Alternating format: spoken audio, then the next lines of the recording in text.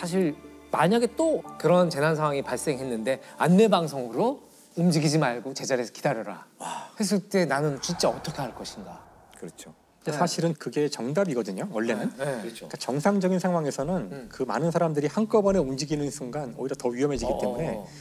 그 자리에 있는 게 원래는 맞아요. 사실은 우르르 사람들이 몰렸기 때문에 참사가 나는 걸 너무 많이 영화에서도 보고 1942년 미국에서 또 있었던 큰 참사 중에 하나가 이제 코코넛 그로브 화재 사건이라는 게 있어요. 굉장히 많은 사람이 모여서 막 춤추고 놀다가 화재가 일어난 거예요. 들어가는 입구가 하나 있었는데 그 입구가 회전문이에요. 회전문. 그 많은 사람들이 한꺼번에 어. 도망쳐 나오면서 회전문에 몇 사람 안 지나서 딱 걸린 거예요. 그리고 다 갇힌 거죠. 이 사건 이후에 이제 미국의 법이 생겨요. 우리도 마찬가지인데 모든 회전문에는 양쪽에 미는 문이 반드시 있어야 돼요. 그러니까 유사시에 튀어나올 수 있도록 돼 있는 거죠. 그 자리에 가만히 있으라는 것이 사실은 정답이고요. 그렇게 한 상태에서 질서 있게 딱딱 안내를 해줘서 탈출을 해야 그나마 많은 사람이 살 확률이 커져요. 근데 이때 이제 우왕좌왕 나오다가는 굉장히 위험한 근데 지금 이제 스크린 도어가 막 설치됐잖아요. 사람들을 거기에 이제 접근하지 못하게 해서 안전을 더 강화하는 건 확실한데 화재가 났을 때는 스크린 도어가 더 도움이 되나요? 한 겹이 더 있으면 좀 그걸 벗어나기가 더 어려워지지 않을까 생각이 갑자기 들어서요. 스크린 도어가 상당히 복잡한 문제인데요. 이게 그 탈출을 할 때에는 지하철 문을 열고 참 스크린 도어도 열어지잖아요.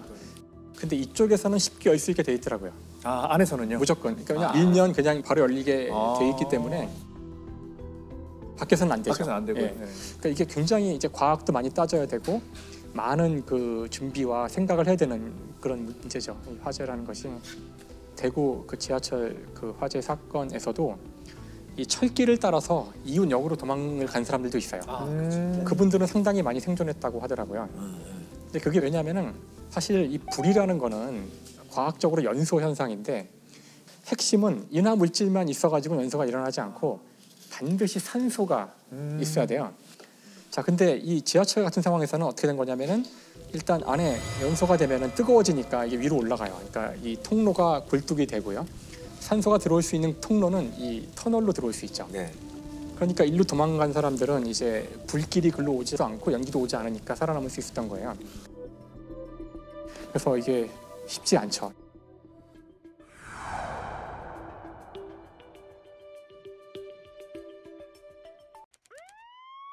이것은 우리 주변의 이야기입니다.